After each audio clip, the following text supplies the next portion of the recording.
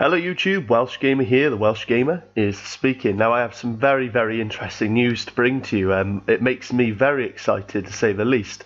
Um, before I proceed though, while I am very excited to bring this to you, you must understand that what I'm about to show you and, and, and read out to you is only a leak. Um, you know, you've got to take these things with a pinch of salt. Um, but the guy who leaked this information um, has quite a bit of credibility in the past with previous things he's hinted at and uh, leaked that have actually come to fruition. So that is why I just wanted to throw out there that it is a leak. So it's not confirmed by the people at Microsoft and Xbox like Phil Spencer. So with any of this that I come to, to bring to your attention now, while it may be very credible, and I for one I'm getting excited, uh, you know, speaking for myself personally. At the same time, just bear that in mind. But here we have basically a man who has been able to access some of the database, the API SDK, um, that well, the API for, for projects inside of Microsoft, uh, like uh, early build of games, code names, all that kind of thing. And he has had access to this database allegedly, and uh, and he's able and he's basically shed some light without actually saying outright there's a new Fable game coming out or a new blah blah blah coming out. He's somewhat hinted at these games in their develop, early stages of development or or whatever stage of development they're in, and he's also leaked a few code names which could point towards certain things. But let's just get into it because I, for one, am very excited. There's a few games on this list that he's hinted at, but obviously the main one for me that I cannot wait to hopefully hear a secure announcement for is Fable. But I've already said in the past that I have no doubt that this is the year we'll see Fable 4. But anyway, let's get into the article. Xbox Live API, API SDK leak provides outlook on upcoming Xbox One exclusive games. The article reads Xbox fans have been eager to learn about Microsoft's upcoming state, slate of first party titles. Head of Xbox Phil Spencer st- stated multiple times in the company would increase investment in this area, though it was too early to announce any games just yet. Just to touch on this, Phil Spencer did obviously come out and say, like, in a nutshell, the the the amount of effort and time they put into getting the Xbox One X out there that level of effort is going to be put into their first party titles now. So that's where this article starts on that note. So it's a nice entry to a pretty decent article, I think. To continue, with the year though, with the new year though, an Xbox Live API SDK leak might have given fans an early outlook on what's next, like uh, uh, after the likes of Ori, Will of the Wisp, Sea of Thieves, State of Decay 2, Crackdown 3. ResetEra user Klobrille revealed that he he still has access to the internal system where project entries are stored. So, like I said, guys, this guy um, it says it further on in the article, but he he has had access to this database for however long. I don't know how he has it. He must have either an insider or it's part of his job. I don't know. I really don't know much about this Klobrille character, but he has had this information and he has given he has leaked certain things in the past that have allegedly come that have apparently like come to fruition. So take that which you will. But these are the quotes of the gentleman himself. It, goes, Oh wow, was awake the whole night for this, lol. I see access to some login entry database tablets via the Xbox Live API SDK. Is it possible? That's insane. Sea of Thieves and Crackdown 3 Arena betas have, have a lot of entries, suggest that these are coming soon. There's so much more, but I don't want to risk myself. then the article reads initially, he didn't seem inclined to share the Xbox Live API information publicly. He ultimately decided to do it through under the guise of a wish list. So basically, what I'm going to about read to you guys is basically this guy at least for me reading it i believe he has right in front of him with this you know sdk api thing this database of sorts. He i reckon he has in front of him in black and white games that are in the works. But because he doesn't want to get sued or anything for being the one to leak it officially he's done this in such a clever way i think uh, like in some kind of like wish list like things that he wants. So here we go it starts with I'd love to revisit Albion. project name could be Wisdom. A UK studio should do it. So he's basically hinting at a Fable game uh, that's project name is Wisdom. Like for me, it's like how would you even come to that conclusion? Why would you randomly go, oh, they should do a project name Wisdom?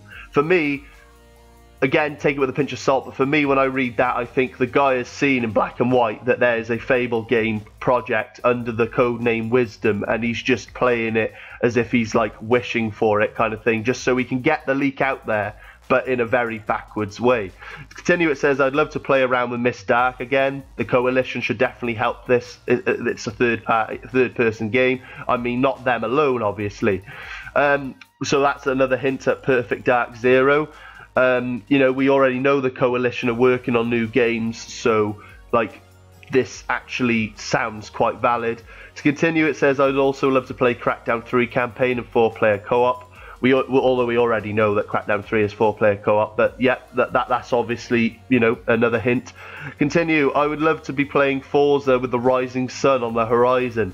A lot of people have been hinting at a Japanese um, uh, Forza Horizon. It's already kind of been in the word, uh, you know, already in the around the net, people talking about it. So it comes to no surprise that that's something that they're probably doing, and he's already hinting at that. So that looks very credible. Um, to continue, I'd love to play Age of Empire 4 soon, but it's probably super early.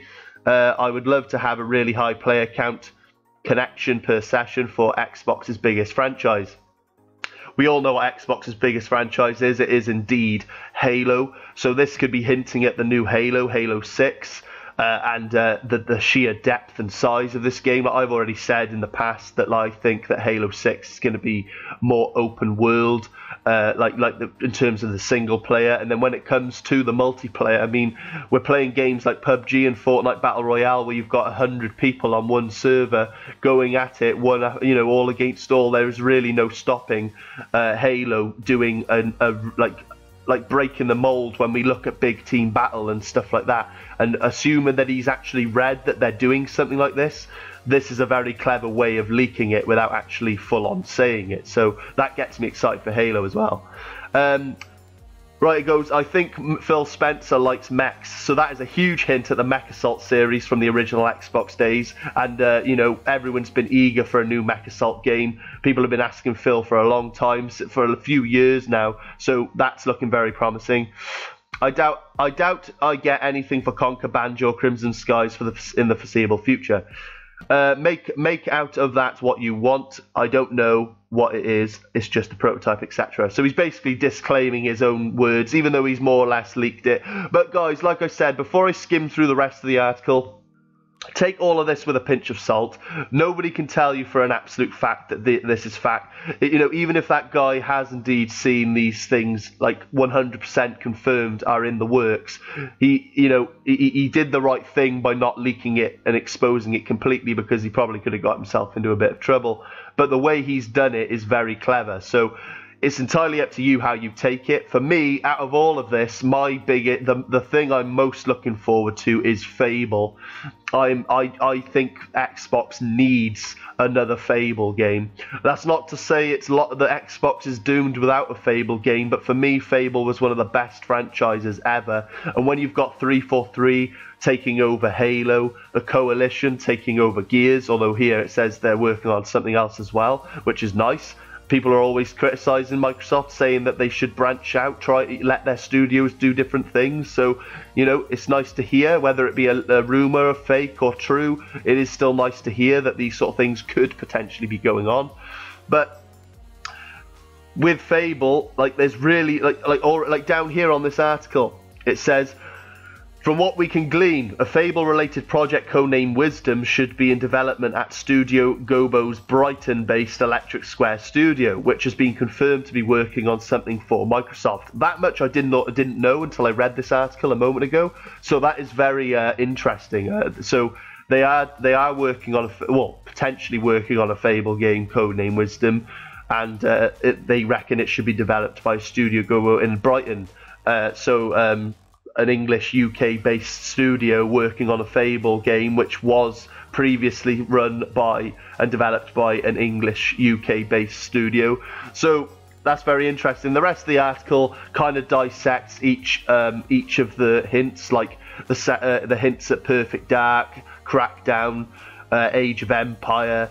Um, but it also ends the article by saying, by the way, this isn't the first time Krill O'Beal, or whatever his bloody name is, has managed to pull information out of the Xbox Live API SDK. He did the same thing ahead of E3 2016, and basically everything he said turned out to be correct, which lends credibility to this leak as well, though it should be strictly filed under a rumor label. Uh, also, there's no telling one of these projects could be cancelled or repurposed before they've even officially been announced. So basically, guys, like I've said to you at the beginning of this video, it is just a leak. It is just this one man's, like, you know, his word against everyone else's. But he has got, you know, has a little bit of credibility to him because it ha- he has leaked stuff in the past that turned out to be true. So again, like I said, like the article said, it is somewhat a, a rumor. It is just a leak. It's not like Phil Spencer's come out and said it himself. So take with it what you will. But for me, I'm just very excited. Um, all of those, all of those leaks and stuff that he came out with were very interesting things. But for me, the biggest one had to be Fable. There's so much they could do with that uh, IP, guys. Like with, with, with the power of the Xbox One X and with games nowadays, the size and the scope, like The Witcher 3. I've been playing Shadow of War. That's phenomenal once I finish Shadow of War, I'm going to be playing Assassin's Creed Origins. Like, these open world games, guys, are getting better and better and more immersive. And just imagine what they could do with a Fable. Only the the imagination, like the, the like my my brain runs wild with thought with, with wondering what they're going to do with that game if they are indeed working on it. That's all I got for you guys. That is the Welsh Gamer, home of the Dragon X podcast, and my buddy Erok X and Microbox of X. And remember to hit that bell down below to stay up to date whenever I make a video. Take it easy, guys. That's the Welsh Gamer. The Welsh Gamer has spoken.